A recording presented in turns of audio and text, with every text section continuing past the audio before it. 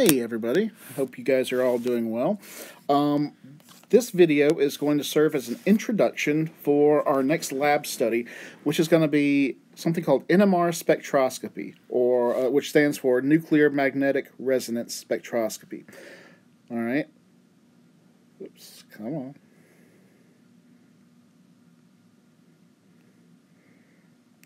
All right. And so what this is, this is going to be sort of similar to IR spectroscopy in the fact that this is a type of absorption spectroscopy. Basically, what we're going to be doing here is we're going to be taking, you know, just like we saw in IR, we're going to be taking a source of radiation. Um, with IR, it was infrared. In the case of NMR, it's going to be radio waves, which are the longest wavelength of waves on the electromagnetic spectrum. And what you're going to do is, just like we saw with IR, you're going to send out a bunch of radio waves in a scan of different frequencies.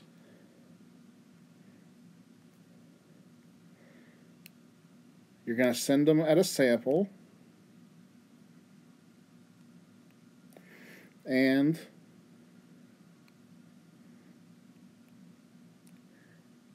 you're going to have a detector.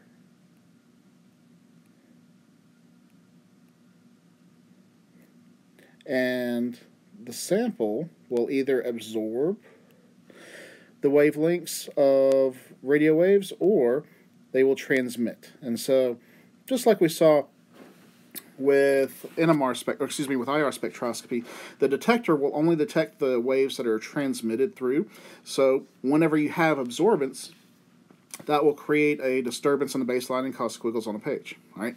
Um, so in that respect, IR and NMR they're really really similar, but they're also really really different in a lot of respects. All right. First of all. Um, the purpose of using NMR is a little bit different. IR spectroscopy is used primarily to identify different functional groups, right? Different families of reactive groups that might be present within a molecule, like, you know, do you have an alcohol group? Do you have an aromatic group? Do you have an alkene group? That kind of thing. NMR spectroscopy is much more in depth. It's actually used to elucidate the finer structural features. You can actually use NMR to detect the exact structure of a species, especially if you're using something like IR as a supplement to it. All right. Um, so, you know, it's considered probably the most useful type of spectroscopy in organic chemistry it is also definitely more complex. So I'm going to be breaking these videos up into smaller chunks. Hopefully you guys can um, easier, more easily digest it. I can't emphasize enough. Go ahead and start reading the NMR chapter in your regular lecture textbook. Janice Gorzynski Smith, Organic Chemistry. I think it's chapter 14, but I'm not sure. Look it up, but go ahead and read through it. Even if you don't understand everything right off, it'll make things a lot easier to understand in the videos if you're already familiar with some of the terms. All right, so let's talk a little bit about, you know, just some of the background and theory about how NMR works. All right, first of all, there's different types of NMR spectroscopy. Basically, you can do NMR spectroscopy with a variety of different elements in different isotopic form. They have to qual they have to have a certain type of quantum spin within their nucleus, and I'm not going to get into that because I don't really think it's relevant here. But suffice it to say, there are lots of different types. You know, there are NMR uh, spectroscopies based on hydrogen one carbon 13, nitrogen 15, um, oxygen 17, fluorine 19, etc., etc. I could keep going on. All right. And basically, each one of these is designed to sort of help you learn more about the different types of that respective element within a molecule. So, hydrogen NMR tells you about the different types of hydrogens that's present in a molecule. Carbon 13 tells you about the different types of carbons. Nitrogen 15, the different types of nitrogens, etc. By far, in a way, these two, hydrogen 1 and carbon 13, are the most commonly used and probably the most useful forms of NMR. And we're going to be putting most of our focus on proton NMR. Um, because again it's probably still the most commonly one used even more than carbon 13 and also it's much more complex than carbon 13 uh, we will go over over carbon 13 nmr towards the end of the nmr lesson but you'll find it's much much simpler to work with uh, than hnmr also it doesn't tell you as much information so that's kind of the downside right so for the foreseeable future we're going to be focusing on pro, what we call h1 or proton nmr so i'm just going to stick a little H in front of there, and we're going to focus on that. All right. Let me erase. All right, and let me give you a little bit of background of you know how we actually get squiggles on a page. Right. If you're thinking about HNMR spectroscopy, you know, we're dealing with hydrogen nuclei. All right, so we're going to represent a hydrogen nucleus just with a little circle.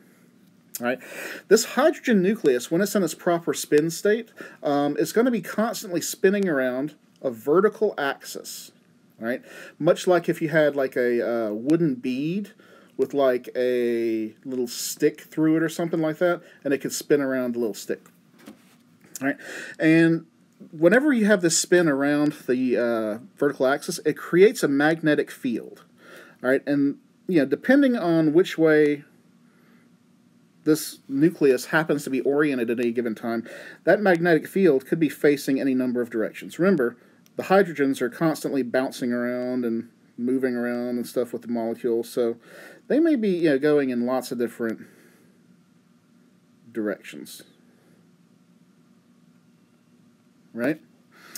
All right, so basically what you do is you take a sample that has all these nuclei, and you apply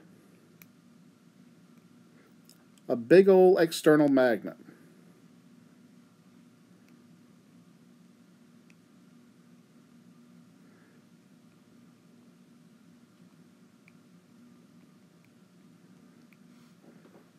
And we're going to have, this is commonly represented by a B sub O.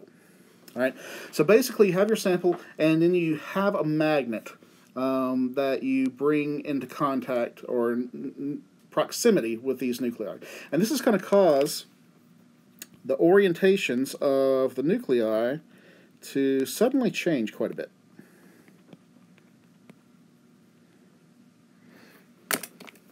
Okay, so I'm going to represent the external magnetic field with an arrow here.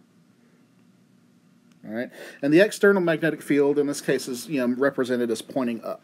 All right, so let's say we had um, six different um, nuclei here in this example. All right, whenever you apply the external magnet, they're going to align in one of two ways. You saw they were going all over the place, place previously. Now they're going to go in two ways. They're either going to go with the external magnet or they're going to go diametrically opposed to it. Okay, that's it, just two states. And you see there's more of them that are aligned with the magnetic field. That makes sense because it's a lower energy state to be aligned with the magnetic field instead of against it. All right?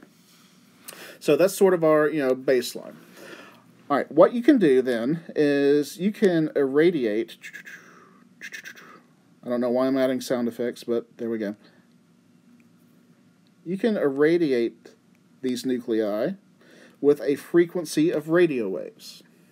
All right, and if you happen to hit upon a frequency of radio waves that is, that is absorbed by a nucleus,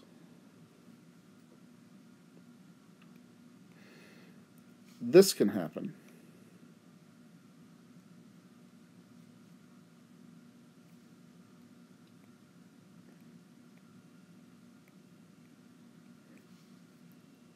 one of these ground state nuclei jumps up here to the higher elevated state, and now you have 3 and 3. This has a name. This is called a spin flip. All right? So, anytime you have a frequency of radiation, of radio wave, that matches the frequency of one of your ground state nuclei, it causes it to spin flip. It causes it to flip orientation and orient opposite to the external magnet. All right?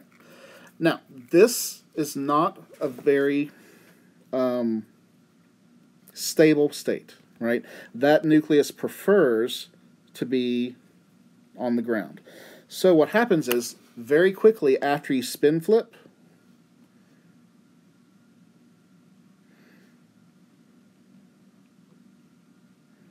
this nucleus is going to fall right back down.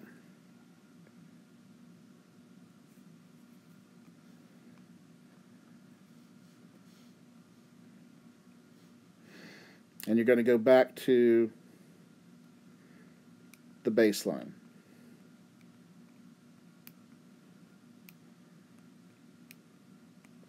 Okay? Now, when that happens, though, it's also going to release some energy.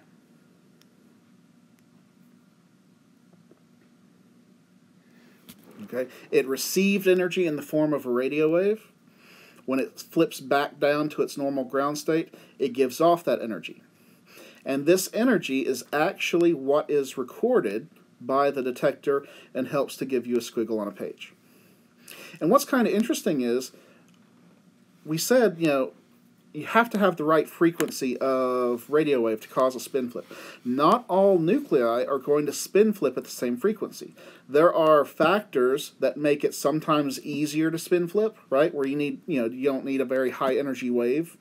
And there's other factors that cause uh, nuclei to be really, really rigid and makes them really difficult to spin flip. And in those cases, you need higher energies.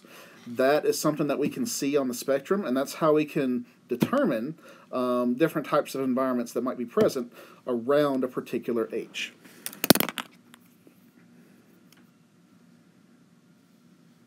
All right.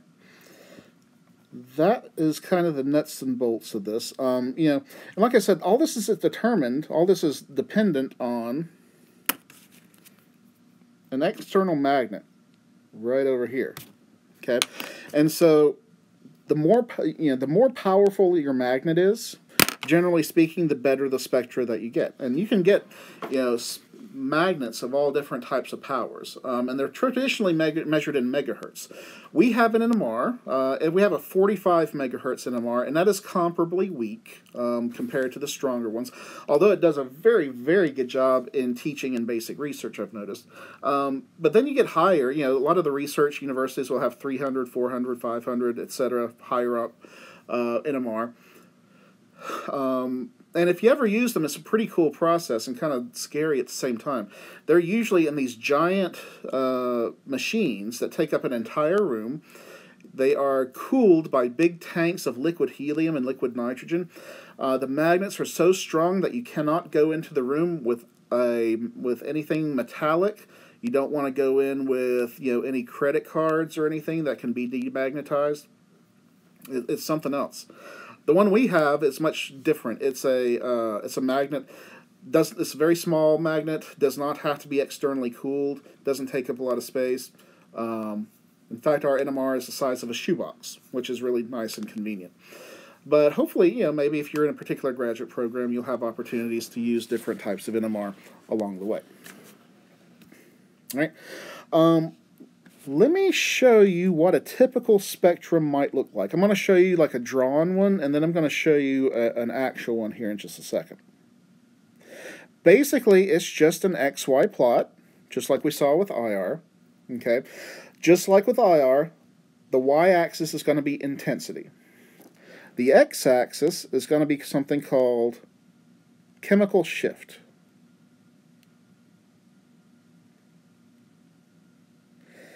And it's measured in parts per million.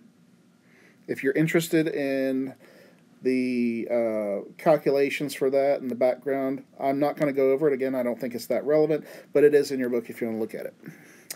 And the symbol for chemical shift is oftentimes a lowercase delta sign, just like that. Same thing that we use for partial positives and partial negatives. All right, and the chemical shift scale typically goes from it can vary a little bit depending on what you program the software, but usually about 12 to 0. All right, and on uh, an NMR spectrum, you'll see a series of peaks. So you might see something like that. You might see something like that.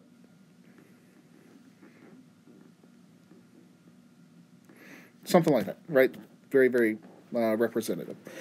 All right, so this is going to lead into um, basically four different features of NMR spectra that you want to interpret in order to get an overall picture of what's going on. All right. Before I list those, let me highlight a couple of things. There's a couple of terms that you need to be aware of. A lot of times, whenever we're describing signals, relative position of signals to each other, we'll use the terms downfield and upfield. And basically, what this describes is their relative positions on the chemical shift axis. Upfield, the upfield direction is going left to right. Downfield is going right to left. Right? So in this case, we would say if we're looking at these two peaks over here, these two signals, we would say that the single peak is downfield of the triplet peak or the three peaked uh, signal. Okay. Um, let's see. Also, I want to highlight the fact that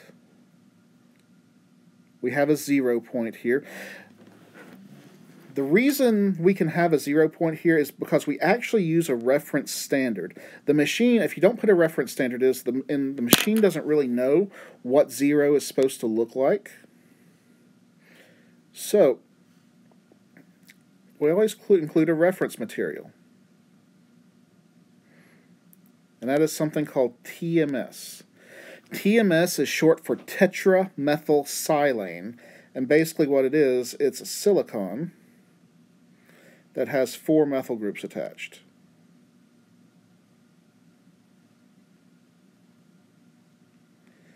All right, depending on your NMR and the software that you have, sometimes you'll actually see a signal at zero. You'll actually see like a you know a single peak coming up, or sometimes it'll be blank. All right, it just depends. But if you ever see a signal at zero, it doesn't mean anything as far as your particular sample. It's just always referring to the reference peak. We tell the machine that, hey, these H's right here should be our zero reference, and it compares every other H in the system to those. All right. All right, so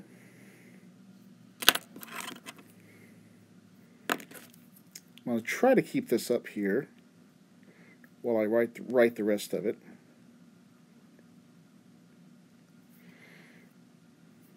All right. Like I said, there's four features, four features that we can look at to determine the nature of a particular structure through NMR spectroscopy. Number one is the number of signals.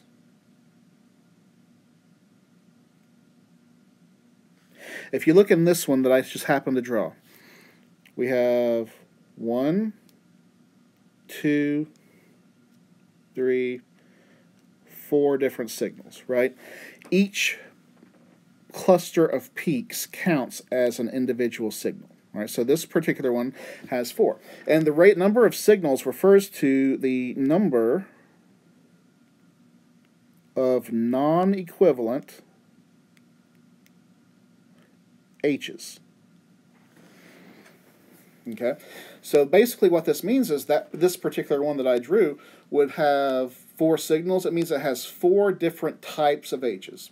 And we've kind of seen this before in various contexts, right? We've seen that, you know, within a particular symmetrical molecule, for instance, you know, you might have two carbons that are basically identical. You might have hydrogens that are basically identical. Right, for example, if you look in this example, we have H's at this carbon, at this carbon, at this carbon, and at this carbon, right? However, they're not all unique. The ones on the very end,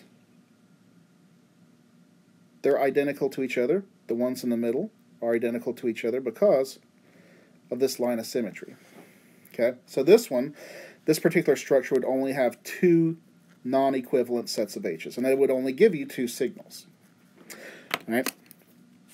So that's what I mean by that. We will go, by the way, we are going to go much more in depth to each one of these four points, so I will be coming back to that.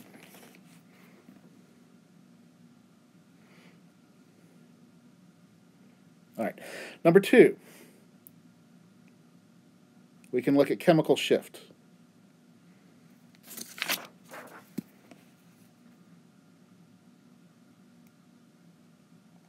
Basically, where on the chemical shift axis does your signal appear? All right.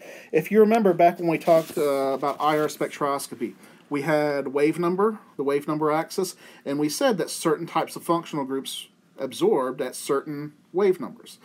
That's basically the situation here. Protons that are in a certain type of environment can absorb at different points on the chemical shift scale.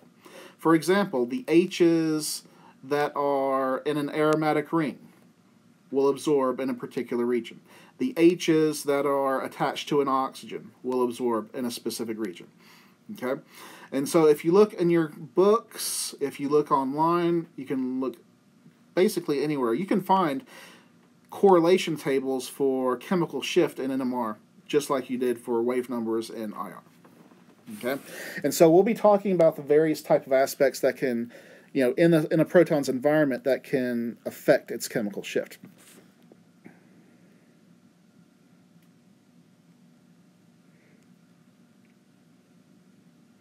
All right, the third thing that we're going to look at is what we call integrations.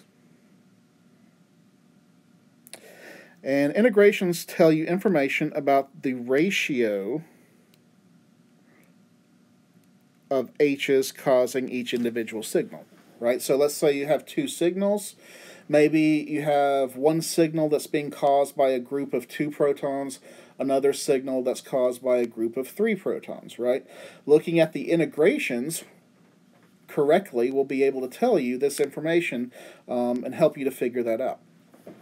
All right what I'm going to do now is I'm going to switch over to show you an actual NMR spectrum to better illustrate this. I can't point with this, so you'll just have to follow my voice.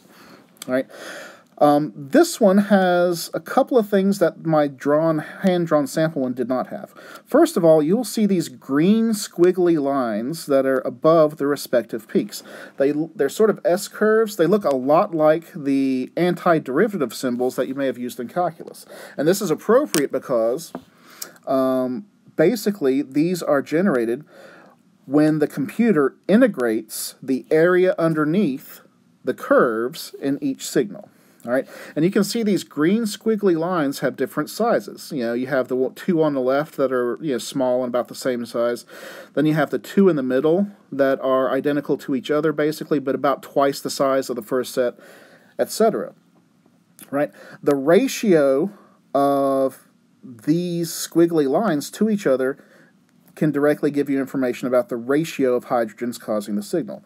And depending on the type of software, the type of NMR you have, it might just give you the squiggly lines, or it might give you helpful numerical information as well. In this, and they, they express it in different ways. Uh, this particular one, if you look below the peaks, you'll see little brackets, little green brackets, and you'll see numbers. Like, for example, to the far left, you see for the first individual peak, you see a bracket of 1 a bracket, and then under it, says 1. Then next to it, you see another bracket, and it says 1.08, right? Then you see, going further to the, to the right, you see uh, a two-peak signal with a set of brackets that says 2.2 another set of brackets that says 2.19. What you can do is you can use these numbers and or the green squiggly lines to compare to each other to figure out the number of H's causing each one of those signals. All right.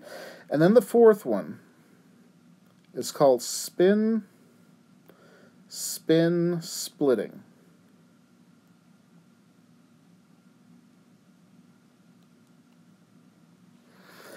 And I hope I have enough room to write this. This tells you information about